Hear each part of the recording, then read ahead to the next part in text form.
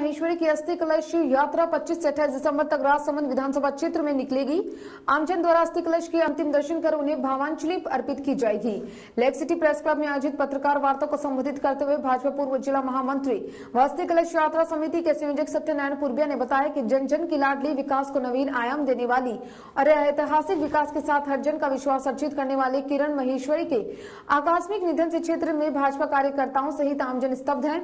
उन्हें आज भी विश्वास नहीं हो रहा। क्षेत्र के हर गाँव, गली, ढाणी, मंचों तक पहुंचकर गरीब से लेकर हर वक्त के लिए दुख सुख में हमेशा उनके साथ रहकर उनके साथ शामिल होते थे। किरण के प्रति आमजन में अतः प्रेम, स्नेह अनुराग रहा है। वे हर परिवार के सदस्य की तरह जन्म से लेकर मृत्यु संस्कारों में सहभागी होकर एक आदर्श जनप्रतिनिधि के दायित्व का सटीक निर्वाह करती रही हैं। उनके अचानक निधन से क्षेत्र को गहरी क्षति पहुँची है और आमजन संवेदना में डूबा है। कोविड उन्नीस के नियमों की पालना के कारण आमजन अपनी लाडली किरण माहेश्वरी के अंतिम दर्शन भी नहीं कर पाया है। यह वेदना आमजन के दुखद भावों से झलक रही है। यात्रा संयोजक सत्यनारायण पूर्विया ने बताया कि चित्र के आमजन की प्रबल इच्छा है कि किरण महेश्वरी के अस्थि कलश के दर्शन कर पुष्पांजलि के माध्यम से अपने संवेदना व्यक्त कर सके। बड़ी संख्या में क्षेत्रवासियों ने किरण महेश्वरी, शोक मग्न परिवारजनों से भेंट कर किरण महेश्वरी की अस्थि कलश यात्रा की अनुमति का आग्रह कर इस अवसर पर परिवारजनों की सहभागिता का भी अनुरोध किया।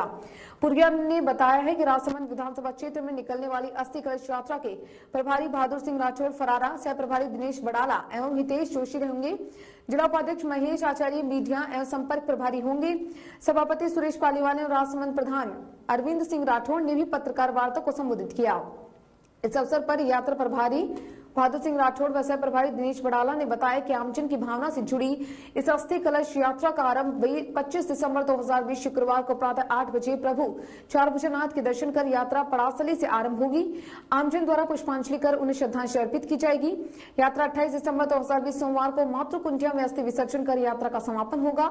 अस्थि कलश यात्रा में कोविड उन्नीस के सभी नियमों की पालना सुनिश्चित की जाएगी।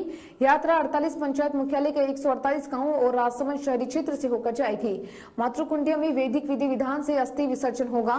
श्रद्धांजलि सभा आयोजित होगी। 25 दिसंबर से किरण महेश्वरी के अस्थि कलश यात्रा का प्रारंभ राजसमंद। विधायक व पूर्व उच्च शिक्षा मंत्री किरण महेश्वरी की अस्थि कलश यात्रा 25 से 28 दिसंबर तक राजसमंद विधानसभा क्षेत्र में निकलेगी।